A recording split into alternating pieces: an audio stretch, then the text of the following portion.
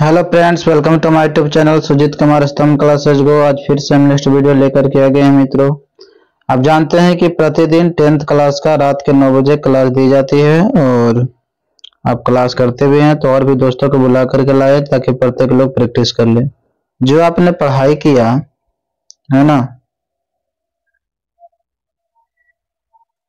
जो आपने पढ़ाई किया है, उसका प्रैक्टिस हो जाएगा। इसीलिए आप जो है ना, ज़रूर आइए। क्लास में आप लोग आने की कोशिश ज़रूर करें। तो जल्दी से बुलाकर लाइए क्लास में, ठीक है ना? और हम लोग क्लास को स्टार्ट करते हैं। आप जानते हैं कि ऑब्जेक्टिव सब्जेक्टिव दोनों क्लास करवाई जाती है। तो आप लोग जो है से ज़रूर क्लास में आए, ठीक है? तो ध्यान से हम लोग पढ़ेंगे और क्वेश्चन का आंसर आप लोग दीजिएगा, जवाब दीजिएगा, ठीक है? आपको जो याद होगा और हम लोग फटाफट करते हैं, समय को नहीं वेस्ट करते हुए। आप सभी लोग ना क्लास में आ जाइए, ठीक है? और बिल्कुल पढ़ने पर ध्यान दीजिए, है ना? फालतू कमेंट न कीजिए, केवल आंसर दीजिए क्वेश्चन नंबर पर ठीक है ना? उसके बाद एहसास होगा कि आपने कितना पढ़ा है। आपने कितनी पढ़ाई किया है, याद है या नहीं है, उसका पता चलेगा, ठीक है ना? प्रैक्टिस में। तो यह ज्योग्राफी के पहला चैप्टर का, जो कि संसाधन भारत, संसाधन उपयोग है, उस चैप्टर से क्वेश्चन में लेके आया हूँ तो आप इसका जवाब दीजिएगा, ठीक है? तो यह तीसरा क्लास है आज। आज का हमारा क्लास है मित्रों? तीसरा क्लास है क्लास थ्री है। हाँ लेसन थ्री का क्लास क्या है? थ्री है। तो आप इस बात का ध्यान दीजिएगा मित्रों। तो पहला नंबर क्वेश्चन जवाब दीजिए, संसाधन कितने प्रकार के होते हैं? जल्दी से आंसर कमेंट करें। संसाधन कितने प्रकार के होते हैं? संसाधन जो होते हैं मित्रों, वो कितने प्रकार के होते हैं? संसाधन? बताइए, कितने प्रकार के होते हैं संसाधन? जल्दी से जवाब दीजिए। हालाँकि देखिए प्राकृतिक संसाधन एक मानव निर्मित संसाधन ऐसे संसाधन दो प्रकार की होती है। लेकिन एक मानवीय संसाधन को भी अलग किया गया है। मतलब संसाधन तीन प्रकार की होती है। लेकिन अगर आपके टेंथ एग्ज़ाम में पूछ रही है ना तो आप प्राकृतिक संसाधन और मानव निर्मित संसाधन, दो ये संसाधन आप पाइएगा। एट क्लास में ना तीन संसाधन भी दिया है। ठीक है ना, इस बात को आप ध्यान दीजिएगा। तो संसाधन कितने प्रकार की होती है? दो प्रकार की तो फ़र्स्ट का ये ऑप्शन सही हो जाएगा। दूसरा नंबर क्वेश्चन का जवाब दीजिए। जो प्रकृतिक में स्वतः पाए जाते हैं, उन्हें क्या कहते हैं? बताइए। जो प्रकृतिक में स्वतः मतलब अपने आप पाया जाता है, उसको क्या कहा जाता है? आपके सामने जो ऑप्शन है, आप इसका जल्दी से जवाब दीजिए। स्वतः पाया जाएगा, अपने आप पाया जाएगा। तो प्राकृतिक संसाधन होगा, जो मानव के द्वारा बनाया जाएगा मानवीय संसाधन यानी मानव निर्मित संसाधन होगा। तीसरा नंबर क्वेश्चन का जवाब दीजिएगा। निम्नलिखित में से कौन जो है ना प्राकृतिक संसाधन के उदाहरण है, बताइए। निम्नलिखित में से कौन जो है प्राकृतिक संसाधन के उदाहरण है? तो जल्दी से इसका आंसर कमेंट करेंगे, तीसरा नंबर क्वेश्चन का। जल्दी से बताइए, निम्नलिखित में से कौन जो है ना प्राकृतिक संसाधन के उदाहरण है?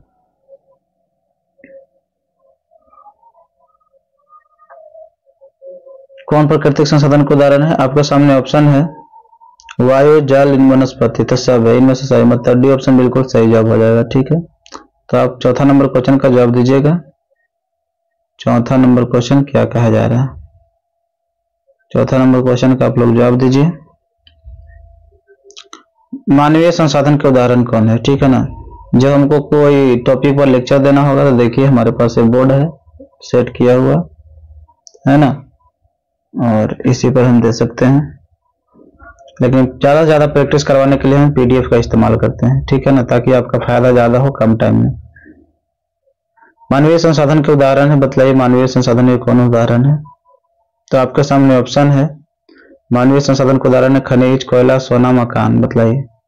खनिज है, कोयला है, सोना है या मकान?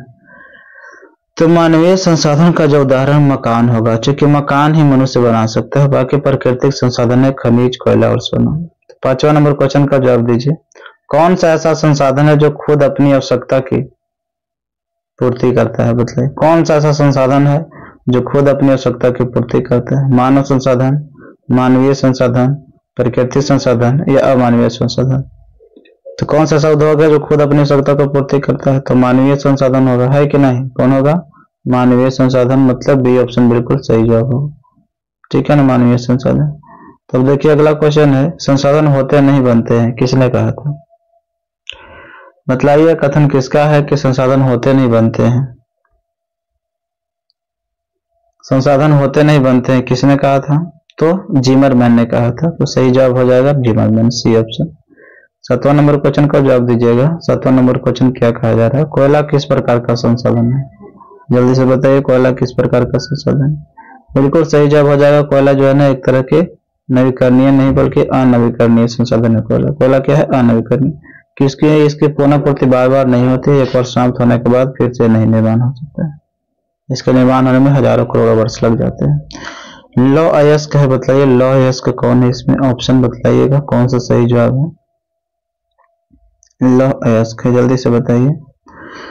लॉयस क्या है नवीकरणीय है कि जैव संसाधन, मानवकृत संसाधन क्या नवीकरणीय तो क्या है, अनवीकरणीय संसाधन आठवां का ऑप्शन आप लोग आंसर देते रहिए। देखिए क्वेश्चन में कितनी बार ये क्वेश्चन पूछा है, बिहार बोर्ड में। कि सौर ऊर्जा निम्नलिखित में से कौन सा संसाधन है? तो बताइए सौर ऊर्जा निम्नलिखित में से कौन सा संसाधन है? पुनः पूर्ति योग्य है, क्या है? पुनः पूर्ति योग्य जिसको ना ऑप्शन में नवीकरणीय भी होगा। सौर ऊर्जा रहे, चाहे पवन ऊर्जा रहे, चाहे फिर सूर्य के प्रकाश रहे, ये सब क्या है? नवीकरणीय दसवां नंबर क्वेश्चन वैसा संसाधन जिनकी उत्पत्ति हुई तथा वे सजीव हो, क्या कहलाते हैं? जिनकी उत्पत्ति हुई और क्या सजीव है? तो सजीव को जैव कहेंगे और निर्जीव रहेगा तो अजैव कहेंगे। तो ग्यारहवा नंबर क्वेश्चन का जवाब दीजिए। पुनः पूर्ति योग्य संसाधन क्या कहलाता है, बताइए। जैव, अजैव नवीकरणीय अचक्रीय। तो पुनः पूर्ति योग्य संसाधन क्या कहलाता है, जल्दी से बताइए। तो जो पुनः पूर्ति योग्य संसाधन होता है वह क्या कहलाता है मित्रों? पुनः पूर्ति योग्य संसाधन क्या कहलाता है? जैव कहलाता है जैव कहलाता है नवीकरणीय अचक्रीय। पुनः पूर्ति योग्य जो है ना वो नवीकरणीय कहलाता है। ठीक है तो ग्यारह का सी ऑप्शन बारवा नंबर क्वेश्चन का जवाब दीजिए। स्वामित्व के आधार पर संसाधन कितने प्रकार के होते हैं। स्वामित्व के आधार पर संसाधन कितने प्रकार के होते हैं? पाँच प्रकार के, तीन प्रकार के, दो प्रकार के या फिर चार प्रकार के तो स्वामित्व के आधार पर संसाधन चार प्रकार के होते हैं। तेरहवा नंबर क्वेश्चन का जवाब दीजिए। निम्नलिखित में से कौन सा संसाधन विकास की स्थिति के आधार पर है? विकास की स्थिति के आधार पर ऑप्शन है नवीकरणीय संभावित संसाधन, जैव संसाधन, राष्ट्रीय संसाधन। तो निम्नलिखित में से कौन संसाधन विकास की स्थिति के आधार पर है? तो संभावित संसाधन। एक वास्तविक संसाधन होता है और एक संभावित संसाधन। चौदहवा नंबर क्वेश्चन का जवाब दीजिए। देश की सीमा रेखा के अंदर के संसाधन कहलाते हैं, बताइए। देश की सीमा रेखा के अंदर का संसाधन क्या कहलाएगा? आपके सामने ऑप्शन है राष्ट्रीय, अंतरराष्ट्रीय, सामुदायिक, व्यक्तिगत। तो सही जवाब क्या हो जाएगा? राष्ट्रीय संसाधन। देश की सीमा की रेखा के अंदर संसाधन जो होते हैं, राष्ट्रीय संसाधन होते हैं। तट रेखा से कितने किलोमीटर क्षेत्र की सीमा पर्यटक आर्थिक क्षेत्र कहलाते हैं? सौ किलोमीटर, दो सौ किलोमीटर, डेढ़ सौ किलोमीटर, या अढ़ाई सौ किलोमीटर? सही जवाब है मित्रों कि 200 किलोमीटर जो होता है ना तट रेखा से कितने किलोमीटर तक के क्षेत्र जो है ना सीमा का आर्थिक क्षेत्र कहलाता है? हो जाएगा 200 किलोमीटर। 16 समुद्री क्षेत्र में राजनीतिक सीमा के कितने किलोमीटर क्षेत्र तक का संपदा रहती उन्नीस पॉइंट दो किलोमीटर या फिर बारह नोटकल मील। संसाधन का बचाव करना क्या आवश्यक है? क्या आवश्यक है संसाधन का बचाव करना? संरक्षण दोहन अतिक्रमण या नियोजन? संसाधन का बचाव करना क्या क्या कहलाता है? तो संसाधन का बचाव करना संसाधन का संरक्षण कहलाता है। है ना? अगला देखिए अठारह। डाकों की अर्थव्यवस्था का संबंध किससे है? संसाधन संग्रहण से था। संसाधन के विदोहन से। संसाधन के नियोजित दोहन से। किन में से? कोई नहीं। तो बिल्कुल जल्दी से सही जवाब दीजिए। आपके सामने ऑप्शन है। संसाधन डाकों की अर्थव्यवस्था का संबंध किससे है? जल्दी से बताइए। तो जो डाकों की अर्थव्यवस्था का संबंध है विदोहन से संबंध है ना? संसाधनों के अनियोजित विदोहन से तो बी ऑप्शन बिल्कुल सही जवाब उन्नीसवा नंबर क्वेश्चन हमारे पास पेट भरने के लिए बहुत कुछ है, पेटी भरने के लिए नहीं। पेटी भरने के लिए नहीं। बताइए कथन किसका है? हमारे पास पेट भरने के लिए बहुत कुछ है, पेटी भरने के लिए नहीं। ये कथन किसका है?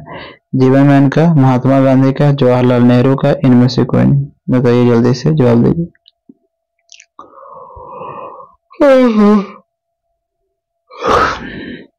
हमारे पास पेट भरने के लिए बहुत कुछ है, पेटी भरने के लिए नहीं। बताइए कथन किसका है? तो महात्मा गांधी बोले थे कि पेट भरने के लिए सब कुछ है, लेकिन पेटी भरने के लिए नहीं। जल्दी से जवाब दीजिएगा मित्रों।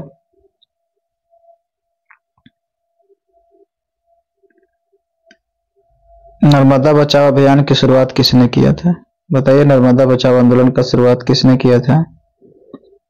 नर्मदा बचाओ अभियान की जो शुरुआत किया था ना, वो मेधा पाटेकर ने किया था और चिपको आंदोलन का सुंदरलाल बहुगुणा ने किया था। है ना? महात्मा गांधी ने तो बोला ही है कि हमारे पास पेट भरने के लिए सब कुछ है, लेकिन पेट भरने के लिए नहीं। ठीक है ना? इस रूम में ना शायद एक आध मच्छर होते हैं, नहीं तो नहीं होते हैं मच्छर इस रूम ठीक है ना? इस तरीके से हमारे रूम का है ना डिज़ाइन की गई है, इसमें बिल्कुल साफ़ सुथरा रहता है है ना? एक तरह की बुक भी बहुत सारा है, जो लैब की तरह है लाइब्रेरी की तरह। ठीक है ना? सारा चीज़ व्यवस्था है। इक्कीसवा नंबर क्वेश्चन चिपको आंदोलन के प्रणेता कौन है? बताइए चिपको आंदोलन के प्रणेता कौन है? महात्मा गांधी, जवाहरलाल नेहरू, सुंदरलाल बहुगुणा, मेधा पाटेकर।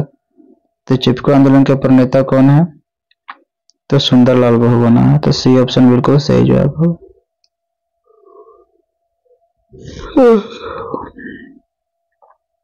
और इस रूम में वेपर लाइट भी लगाई गई है। देखो ना क्लियर दिखाई दे रहा होगा ना? ताकि ना, अच्छी तरह से दिखाई दे जब बोर्ड पर मैं पढ़ाने के लिए जाऊँ तो। ठीक है ना, जो ना रोड के किनारे वेपर लाइट बड़ा बड़ा होता है, उस वो वाला। तो बाईसवा नंबर क्वेश्चन, विश्व पर्यावरण दिवस कब मनाया जाता है? विश्व पर्यावरण दिवस कब मनाया जाता है? दो जून, चार जून, छह जून, पाँच जून। पाँच जून को, ठीक है ना? विश्व पर्यावरण दिवस पाँच जून को मनाया जाता है। कला व फरोम की वकालत कब की गई थी? जल्दी से बताइए। तो आपके सामने ऑप्शन है, उन्नीस सौ सत्तर ईस्वी में, उन्नीस सौ अड़सठ ईस्वी में, उन्नीस सौ पैंसठ ईस्वी उन्नीस सौ अस्सी ईस्वी में, ठीक है ना? माइक लगा लेने की वजह से ना हम धीरे ही बोलते हैं ना तो आपके पास आवाज़ अच्छी तरह से जाता होगा। ये मेरा माइक है, ठीक है ना? आवाज़ जा रहा होगा, है ना? तो कला ऑफ़ रोम की वकालत कब की गई थी मित्रों? तो कला ऑफ़ रोम की जो वकालत की गई थी ना, वो उन्नीस सौ अड़सठ ईस्वी में की गई थी। तो इसका भी ऑप्शन, चौबीसवा नंबर क्वेश्चन प्रथम पृथ्वी सम्मेलन कब और कहाँ हुई थी, बताइए। प्रथम पृथ्वी सम्मेलन जो हुआ था, वो कब और कहाँ हुआ था? उन्नीस सौ बानवे अमेरिका में उन्नीस सौ संतानवे में रियो डी जेनरो में उन्नीस सौ बानवे में रियो डी जेनरो में फिर दो हज़ार दो में फिर गया में। तो उन्नीस सौ बानवे से मैंने रियो डी जेनरो में हुआ था पृथ्वी में प्रथम पृथ्वी सम्मेलन हुआ था। पच्चीसवा नंबर क्वेश्चन का जवाब दीजिए। प्राकृतिक संसाधनों के संरक्षण के लिए उन्नीस सौ अड़सठ में कौन सा कन्वेंशन हुआ था? बताइए। प्राकृतिक संसाधनों के संरक्षण के लिए उन्नीस सौ अड़सठ में कौन सा कन्वेंशन हुआ था?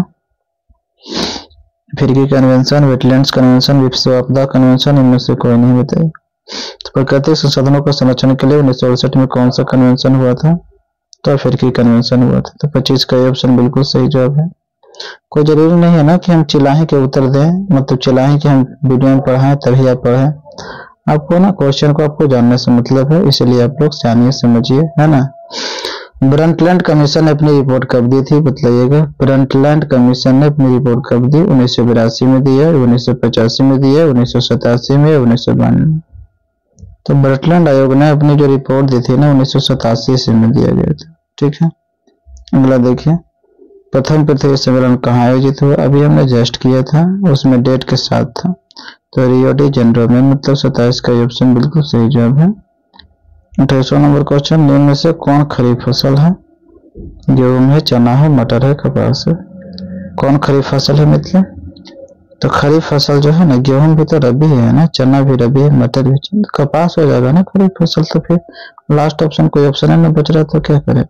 मरुस्थलीय मृदा कहाँ मिलती है बताइए? मरुस्थलीय मृदा भाई, वही क्षेत्र में नहीं मिलेगी, जहाँ पे एकदम बिल्कुल बंजर भूमि राजस्थान वाले क्षेत्र में पानी नहीं पड़ पाती है यार। वहाँ एक तरुण भारत संघ चलती है जो ये सब व्यवस्था करती है। वहाँ एक मात्र लोनी नदी है। निम्न से कौन अनवीकरणीय संसाधन है? आपके सामने ऑप्शन है सौर ऊर्जा, जीवाश्म ईंधन, जल विद्युत या पवन ऊर्जा। तो निम्न से कौन अनवीकरणीय संसाधन है? तो कौन अनवीकरणीय मित्रों? तो जीवाश्म ईंधन अनवीकरणीय हो जाएगा और क्या? है ना? इकतीस नंबर क्वेश्चन का जवाब दीजिए। संसाधनों के खोज एवं प्रबंधन के लिए किस प्रकार का प्रयोग किया जाता है? किस उपग्रह का प्रयोग किया जाता है? ये तो भाई आपदा से क्वेश्चन है। इसकी क्या ज़रूरत थी? आपदा में बढ़ाएँगे, इसे सुदर्शन मध्य उपग्रह होगा। मुगला विद्रोह भी कहाँ ज़रूरत है? यह हिस्ट्री क्या है? भारत में राष्ट्रवाद का। धान का एक प्रकार है, वो है ना, इस सब तो धान के प्रकार वो अमन, बोरो इनमें से ये सब जो है ना, आपको दूसरा चैप्टर में बताएँगे। ये तो बिहार बोर्ड में आया भी था, धान का प्रकार वो सोलह ठीक है, इस बार आया था 2024 में। प्रथम पृथ्वी सम्मेलन कहाँ हुआ था? Johannesburg, Rio de Janeiro, New York, क्यूटन। ये क्वेश्चन है पहले चैप्टर का जोग्राफी प्रथम पृथ्वी सम्मेलन कहाँ हुआ था? तो रियो डी जेनरो में हुआ था, ठीक है। द्वितीय हो गया था कहाँ में? न्यूयॉर्क में, और तीसरी थी जोहान्सबर्ग में हो गया था। है ना, प्रथम उन्नीस सौ बानवे, द्वितीय उन्नीस सौ संतानवे तृतीय दो हज़ार दो तो इस तरह से अब सब्जेक्टिव क्वेश्चन के हम लोग आते हैं। देखिए, आज का सब्जेक्टिव क्वेश्चन है प्रकृतिक संसाधनों का संरक्षण क्यों आवश्यक है? तो प्रकृतिक संसाधनों का संरक्षण क्यों आवश्यक है? इसका जवाब देंगे। प्राकृतिक संसाधनों का संरक्षण करना बहुत ज़रूरी है, क्योंकि पृथ्वी पर कोयला, पेट्रोल जैसे अनेक महत्वपूर्ण नवीकरणीय संसाधन है है ना? प्राकृतिक संसाधनों का संरक्षण का है ज़रूरी है? क्या कि पृथ्वी पर कोयला पेट्रोल जैसे अनेक महत्वपूर्ण नवीकरणीय जो संसाधन है, उसको एक बार उपयोग होने के बाद ना दोबारा उपयोग में नहीं आते हैं, है ना? दोबारा उपयोग नहीं कर सकते हैं। विकास की गाड़ी को लगातार जारी रखने के लिए विकास गाड़ी को लगातार जारी रखने के लिए इन संसाधनों का विवेकपूर्ण उपयोग करना बहुत आवश्यक है भाई। नहीं तो इनकी प्राप्ति असंभव हो जाएगी। समझ रहे हैं बात को? संसाधनों का संरक्षण क्या है? ज़रूरी। इस तरीके से जो आज की क्लास में जो हुआ सब्जेक्टिव और ऑब्जेक्टिव दोनों हुई थी हमारा लास्ट का सब्जेक्टिव जो था, प्रकृति संसाधनों का संरक्षण की आवश्यक तो इस तरह से प्रतिदिन रात के नौ बजे क्लास में जुड़िए हमारे साथ और पढ़ते रहिए, ठीक है? अगर वीडियो अच्छा लगता है तो लाइक करें शेयर करें सब्सक्राइब करें। Thank you for watching video